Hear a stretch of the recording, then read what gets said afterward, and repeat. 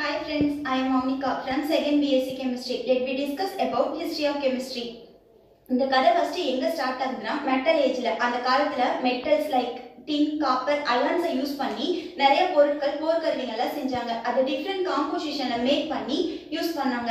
அது வரைக்கும் உங்களுக்கு தெரிஞ்சது நாலு எலமெண்ட் தான். ஏர் வாட்டர் ஃபயர் எர்த் அதுக்கப்புறம் ஃபோர்த் செஞ்சுரியில டெமோக்ரட்டிஸ் லியோசிப்ஸ் அப்படின்னு ஒரு ரெண்டு சயின்டிஸ்ட் வந்து ஆட்டம்னு ஒரு கருத்தை சொன்னாங்க. அதுல அவங்க என்ன சொல்றாங்கன்னா டிவிசபிளா இருக்க பொருளை எடுத்து சின்னது பண்ணிக்கிட்டே போகும்போது கடைசியில மைனூட் இன்டிவிசபிள் பார்ட்டிகல்ஸ் வந்து கிடைக்கும். பட் அதை ப்ரூவ் பண்ற மாதிரி எந்த எக்ஸ்பெரிமெண்டல் டேட்டாவும் இல்லாதனால அந்த காலத்துல இதை யாரும் நம்பல.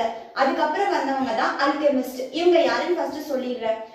நிறைய டிஃப்ரெண்டான கெமிக்கல்ஸை யூஸ் பண்ணி புது புது காம்போசிஷன் கண்டுபிடிக்கிறவங்க. இவங்களுக்கு ஒரு சேலஞ்ச் இருந்தது. அது என்னன்னா சீப்பா கிடைக்கிற மெட்டல்ஸை கோல்டா கன்வெர்ட் பண்ணணும்.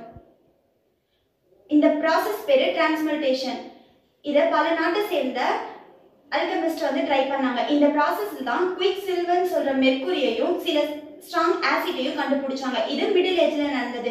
அதுக்கப்புறம் மாடர்ன் கெமிஸ்ட்ரி ஏஜ் இந்த ஏஜ்ல தான் நிறைய எலமெண்ட்ஸுக்கு சிஸ்டமேட்டிக் எக்ஸ்ட்ராக்ஷன் ப்ராசஸ் கொண்டு வந்தாங்க. இந்த இந்த ஏஜ்ல முக்கியமான ஒருத்தர் யாருன்னா ராபர்ட் பைல். இவர் தான் வால்யூமுக்கும் ப்ரெஷருக்குமான ரிலேஷன்ஷிப்பை சொல்லியிருக்காரு. அது மட்டும் இல்லாம ஒரு புக்கையும் பப்ளிஷ் பண்றாரு. அது என்னன்னா ஸ்பெக்டிக்கல் கெமிஸ்ட் இந்த புக்ல அவர் என்ன சொல்றாருன்னா அல்கமிக்கும் கெமிஸ்ட்ரிக்குமான டிஃப்ரெண்ட்டை சொல்றாரு. அவர் சொல்ல வர்றது என்னன்னா மேட்டோட நேச்சரையும் கெமிக்கல் டிரான்ஸ்ஃபர்மேஷனையும் அல்கமினால எக்ஸ்பிளைன் பண்ண முடியாது. பட் ஆனா கெமிஸ்ட்ரினால முடியும். இது மட்டும் இல்லாம இவர் எலமெண்ட்னா என்னன்னு ஒரு ஒரு சப்ஸ்டன்ஸை எடுத்து ரெண்டு அல்லது அதுக்கு மேலான பார்ட்டிகளா கன்வெர்ட் பண்ண முடியாதோ அல்லது பிரேக் பண்ண முடியாதோ அதுதான் எலமெண்ட் அப்படின்னு சொல்றாரு. இந்த கருத்து இவர் சொன்னதுக்கு அப்புறம் தான் பல சயின்டிஸ்ட் புதுசு புதுசா எலமெண்ட் கண்டுபிடிக்க ஸ்டார்ட் பண்ணாங்க. நிறைய தியரியும் கொண்டு வந்தாங்க. Thank you friends